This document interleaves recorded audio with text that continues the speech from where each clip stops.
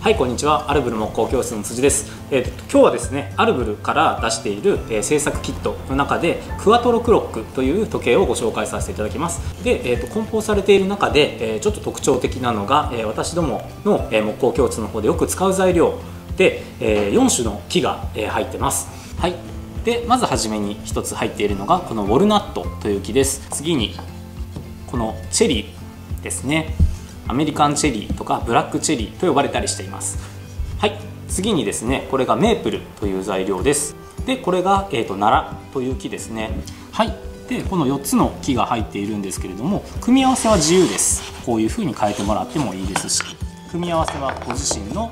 中で決めてください。でですねどういう形になっているかというとこの時計の心臓部分ムーブメントというものがこの中に入る形になります。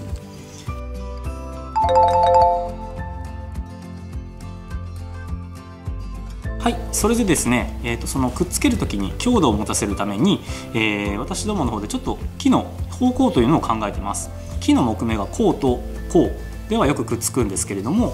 例えばこういうふうに木の繊維と繊維が、えー、小口というその断面がぶつかる方向というのはあまりくっつきません。ですのでこういうふうに互い違いになるように、えー、基本は、えー、貼り合わせています。ですので、まあ、それは、えーと、ご本人、えー、ご自由に変えていただいても基本はどういう形でも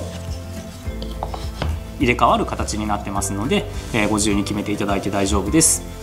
で次にあともう一つここにですねこういう形で溝が彫ってありますここに付属のこのビスケットというものを入れてやることによってより頑丈な形でついてくれます。はい、ですのでここにま溝が彫ってあってこのビスケットというチップを埋め込んであげてください。はいそれでは、えー、まずは接着から入っていきます。えーと接着でポイントとなるのは薄くまんべんなくつけてやるということです。でこのビスケットの穴の部分にもしっかり入れてあげてください。塗る部分は端っことあとはこちらの細くなっている部分両方に塗ってあげてください。はい。でそしたらビスケットをこの中にしっかり入れてあげます。新たにこのビスケットにも塗ってあげてください。では同じく今度はこちら。反対側。つく面両面に塗ってあげてください。これが一つのポイントですね。こういう形で。片面だけ塗っていればいいという形ではなく両面にしっかり塗ってやることが大事になります。ではこの状態でこちらとこちらをくっつけてあげます。こっちの部分がきちっと揃うようにしてあげてくださいお願い。します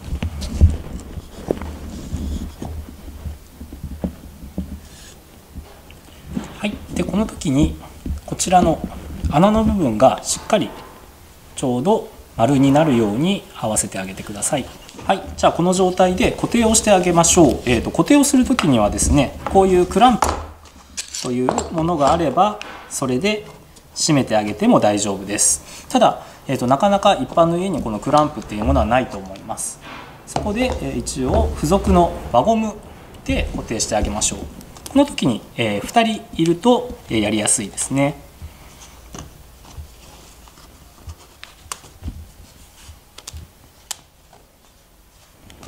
はい、もう1本止めていきます。はい、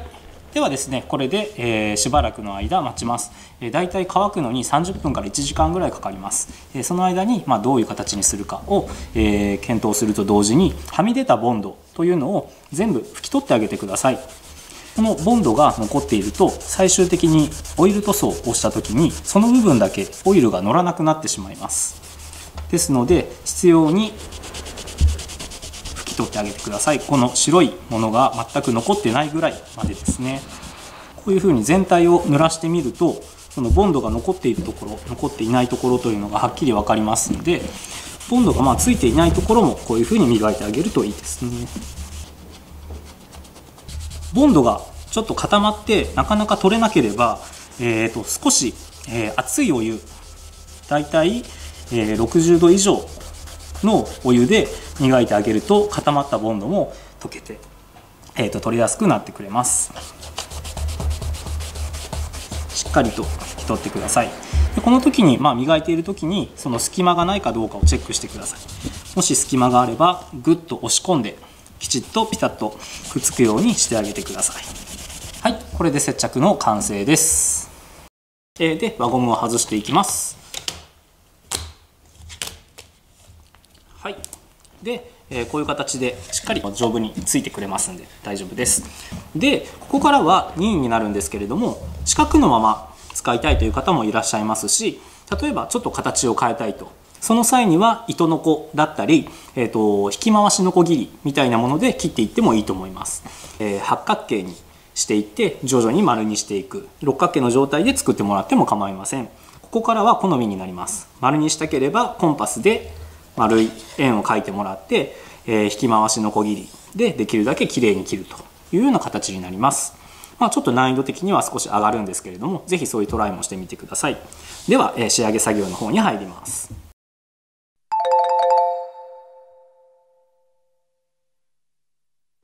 はい、こういうふうに、えー、板にですねサンドペーパーを貼り付けてもらってこれでできるだけ木目に沿って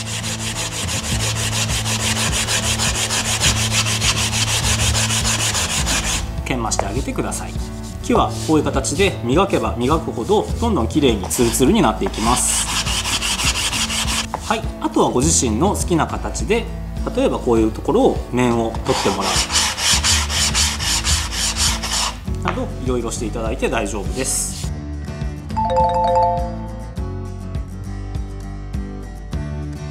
はい。それではサンディングが終わって、えー、こう表面が綺麗になったらですねいよいよ塗装になります。で塗装は、えー、この裏から塗っていきます。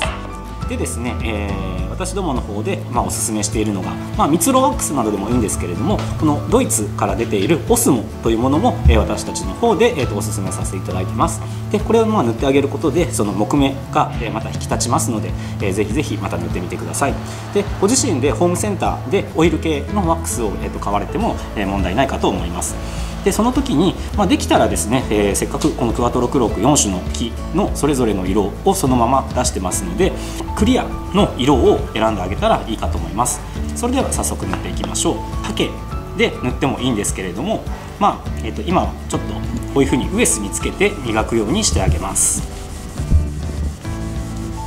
本当はまあハがあれば縫ってえー、ちょっとこうベタベタな状態で、えー、10分15分待ってからそれを拭き取ってやると。いうような形が一番おすすめです。で全部使い切らなくてもまたメンテナンスで、えー、例えばまあご自宅の家具に塗ってあげたりだとか、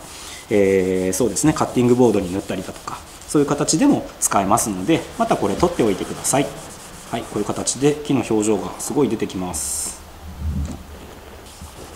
はい、最終的にですねこすって全部拭き取りますのであのムラなどはこのオスモやそのオイル系のワックスに関してはあまり関係ありません。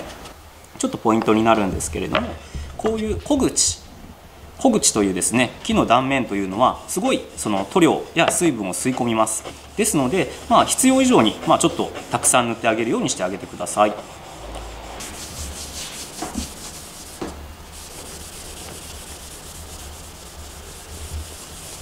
乾いた部分で拭き取ります。ではですね、えーと、オスモなんですけれどもこういうふうに光に照らして見てみて、えーと、自分のまあ指紋だったりもしくはそのべったり、え、残っているところがないようにできるだけ均一にこういうふうに磨いてあげます。どれぐらいと言ったらこう吹いた時にその引っかかりですね、えー、濡れた感じの引っかかりがなくなるまでしっかり磨いてあげてください。でこの作業で、まあ、できたらその1日寝かせてから、えー、後ろの取り付け作業の方に入っていきましょう。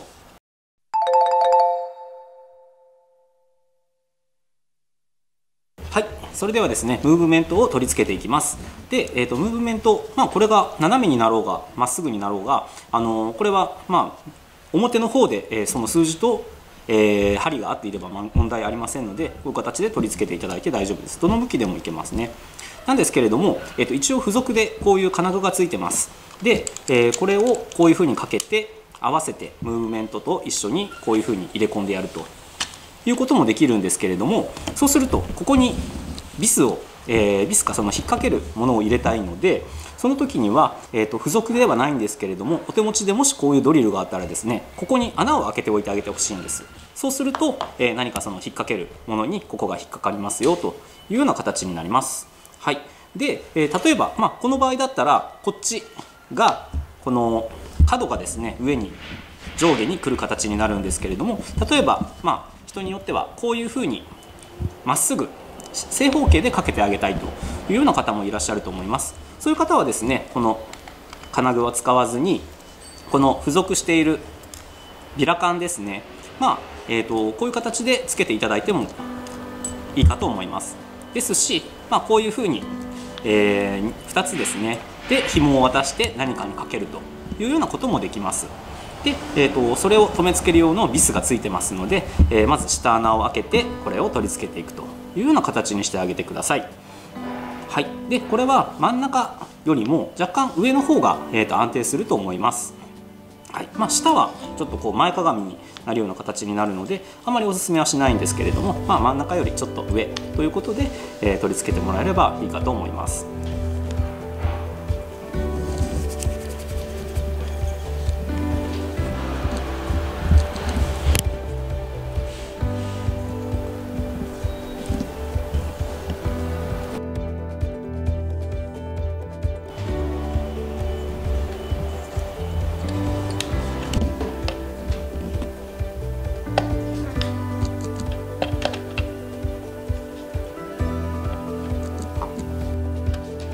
ずは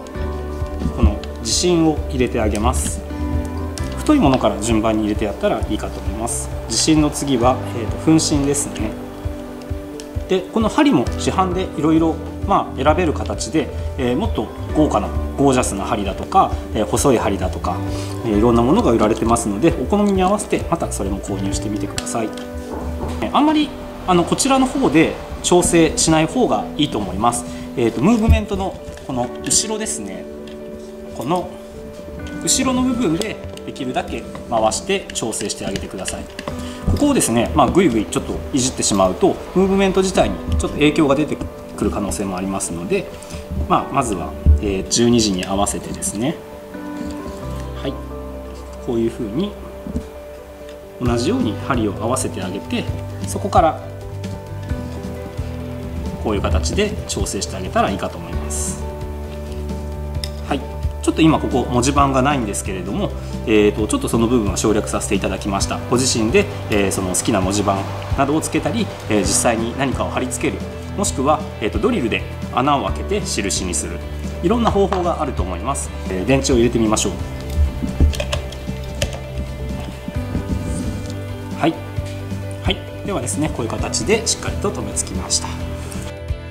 はいそれではですね、えー、いろいろその形の、えー、切断などは、えー、形を決めるみたいなところは省略させていただいたんですけれどもまた、えーと、私たちの動画でノコギリの使い方などを、えー、ご覧になられてで、えー、各自ご自身でいろいろやってもらってもいいかと思います。ではこのクワトロクロック、えー、4種の木の時計ということで、えーと、いろんな、まあ、これが木材の本来の色ですね。こういう形で、えー、一つご自宅にあると木のニュアンスが出て、えー、すごいいいと思いますはい、では皆さんもぜひ、えー、トライしてみてください。はい、ありがとうございました。